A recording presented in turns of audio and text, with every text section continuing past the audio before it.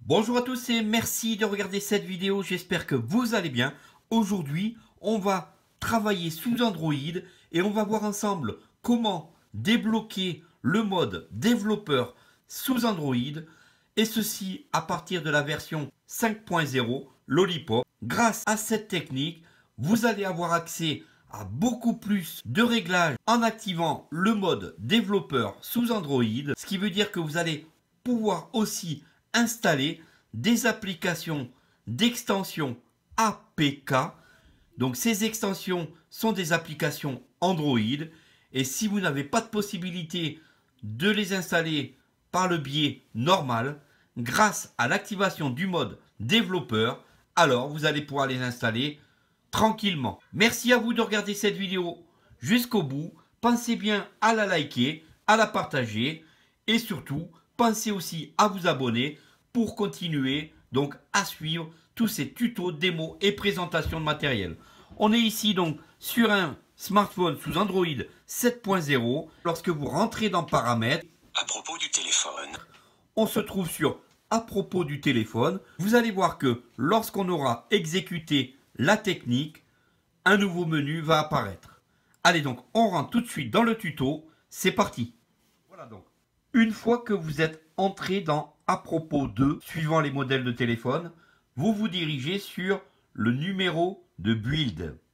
Ou ici sur le S8, information sur le logiciel, afficher la version d'Android, la version de bande de base, la version du noyau, le numéro de version, etc. actuellement installé. Ici, on va rentrer dans ce menu. Version Android 7.0. Version Samsung Experience 8.1.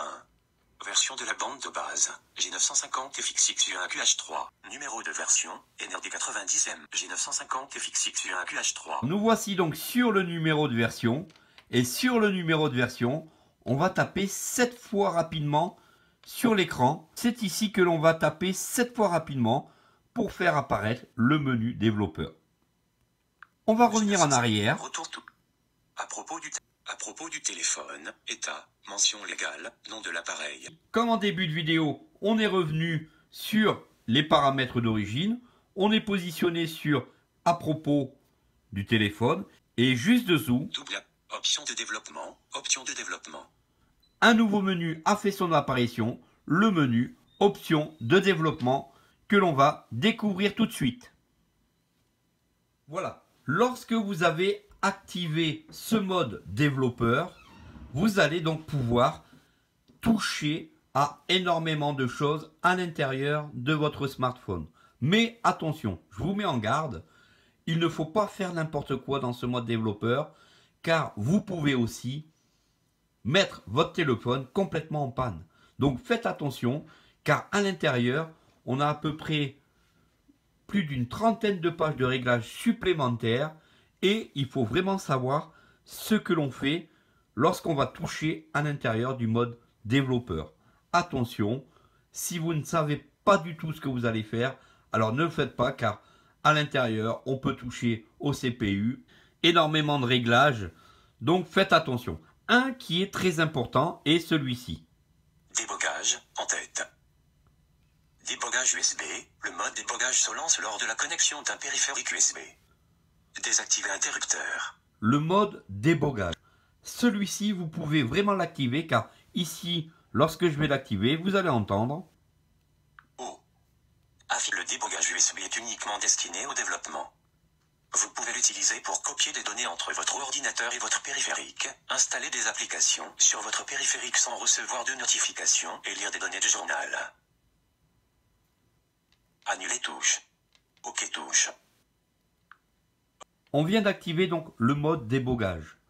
Ce qui va permettre, si vous voulez par exemple modifier le téléphone au niveau de la ROM, la ROM, mettre en fait une custom ROM, ce qu'on appelle, donc changer complètement l'interface de votre téléphone, c'est ici que ça va se passer.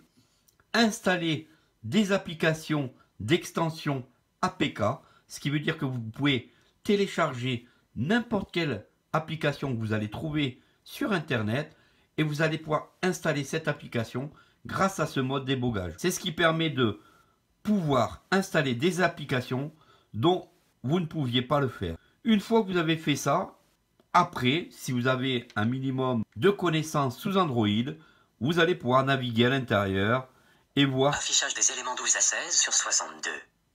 Voilà, comme vous venez d'entendre, on a 62 éléments de réglage dans le mode de développement, donc énormément. Autoriser les périphériques d'affichage sans fil. Afficher les options pour les certificats Viruless Display. Sélectionnez la taille maximale de chaque mémoire tampon du journal. Ah, comme vous avez pu entendre, énormément de réglages. On peut jouer donc sur le processeur, on peut jouer sur la rapidité du téléphone, on peut vraiment faire beaucoup de choses. Mais comme je vous disais, je vous mets en garde, il faut surtout faire attention et savoir ce que l'on fait dans ce mode développeur. On va donc sortir et je vais vous montrer comment, lorsqu'on met une application APK, comment ça se passe pour l'installation. Accueil touche. Page 1 sur 3 pages par Donc sur internet, je viens de télécharger un clavier spécifique d'extension APK. Nous allons tout de suite voir ensemble comment faire l'installation. Si on va brancher notre smartphone. Chargement début. Et lorsqu'on a activé le mode développeur, voilà ce qui se passe lorsqu'on branche notre téléphone sur notre Mac ou sur notre Windows. Autoriser l'accès aux données du téléphone. Application. L'appareil connecté va pouvoir accéder aux données se trouvant sur ce téléphone. Interdire touche. Autoriser touche. Nous voici donc avec toutes les autorisations nécessaires pour installer un fichier APK. On va tout de suite mettre ce fichier dans le téléphone et voir comment faire. Une fois que vous avez donc téléchargé l'APK, vous allez donc connecter votre smartphone à votre PC ou votre Mac et vous allez faire un copier-coller de l'APK sur votre smartphone. Et une fois rendu dans gestionnaire de fichiers, vous allez rechercher votre fichier à la racine de votre smartphone ou sur la carte SD si vous l'avez mis sur la carte SD, ce qui est ici mon cas. Gestionnaire de fichiers. Ouvrir le tiroir de navigation. Je vais ouvrir mon tiroir, Menu. Carte SD. je vais sur carte SD. Mon fichier devrait se trouver tout en bas. Affichage des éléments. Galaxy-S8-Samsung-clavier.apk. 18,10 MB. 17,9. Je vais l'ouvrir. Programme d'installation du kit. Voulez-vous installer cette application? Annuler touche. Installer touche. Et on l'installe. Double appui pour sélectionner 20%. Installation 3 points.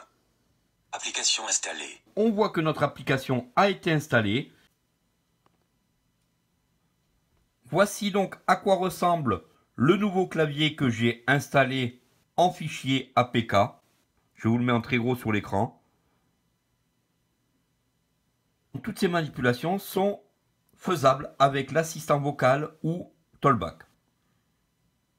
Et ce principe vous permet d'installer toutes les applications du Play Store grâce à ce mode développeur. Voilà pour cette vidéo, j'espère que elle vous aura plu. N'hésitez surtout pas à vous abonner à ma chaîne pour continuer à suivre tous ces tutos et démos. Merci d'avoir suivi cette vidéo jusqu'au bout.